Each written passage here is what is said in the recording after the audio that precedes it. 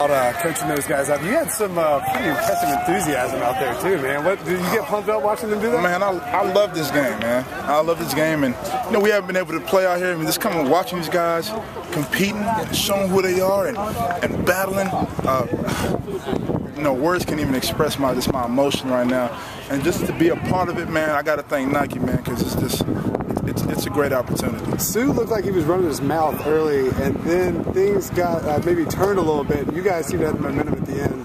Did you feel like O-line won that matchup? Yeah, I mean, yeah, Suh had a lot to say, man. We, have been talking about it back and forth the whole camp, who's going to be the, the, winners of the O-line and D-line, and I think it's obvious today who won.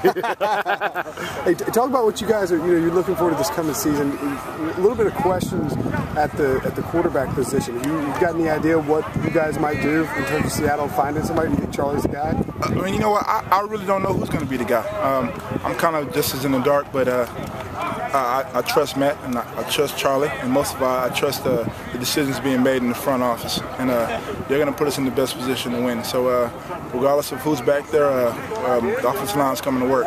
What, what kind of training have you done during the lockout? I mean, you know, I mean, I know obviously you're on your own, it's tough, and, but you, you, has Nike helped you with anything doing individual workouts, stuff like this? Or? Oh yeah, yeah. I mean, I've, I've been training throughout this whole off season. Uh, you know, getting back to the basics, rehab and all that. And uh, just this week, uh, Paul Winsper, uh, I guess he's the guy here, uh, one of the trainers here at Nike.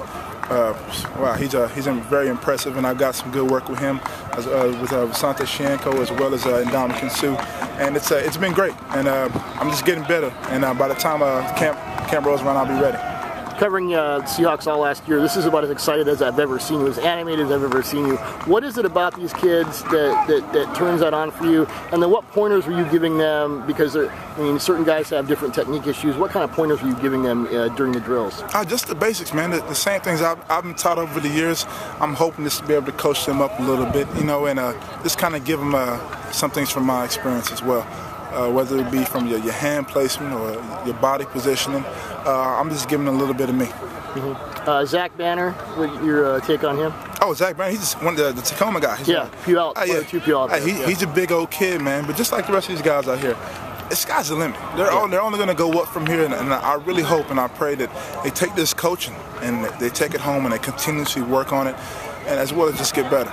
Have you talked to James Carpenter at all? Yeah, yeah. Me and James have talked back and forth a little bit.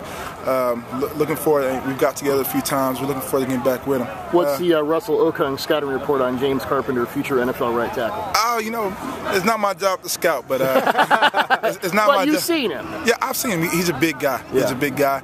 I, I, know he's a physical guy, great in the run game, great in the pass game as well. And I'm, I'm looking forward to uh, not just him, but uh, you know, John Moffitt and the acquisition of other guys as well. That's, uh, so that's getting back to work. Julius Peppers was named uh, number 10 uh, current player overall in the recent NFL poll. Given the fact that you played against him really strong twice last year, what does that tell you about your game? Uh, I really can't really speak on it. You know, I, I had a lot of help from offensive line guys, and, and uh, Julius Peppers is a great player, and uh, he's, he's going to go down as one of the best one day.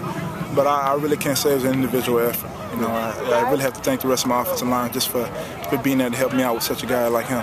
What's the main thing that you learned in your first NFL season that you can take going forward?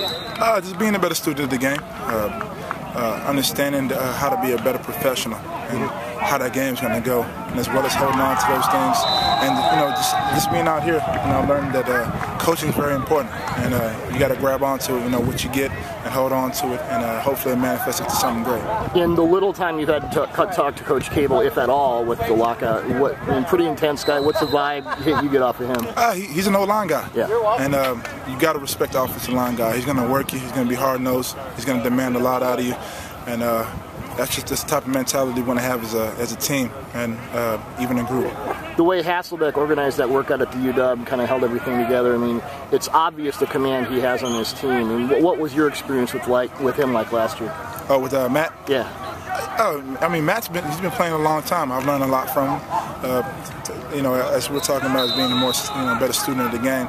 Um, Matt's a veteran, and I'm, I'm, hoping he comes back and uh, just uh, have a lot more to learn. I, I look forward to playing with him in the future if he's there. Yeah. Are you getting excited? You feel like it's close, and you're going to finally play some football here? You know, I don't really know. I'm, I, am just as in the dark as you guys, but I can't wait to get back out out here. These kids are only making it harder on me. Yeah. So oh yeah. I can't wait to be back out. Yeah. It seems like a lot of excitement. Second year of Pete Carroll. Um, the whole experience with Pete coaching you. What was that like?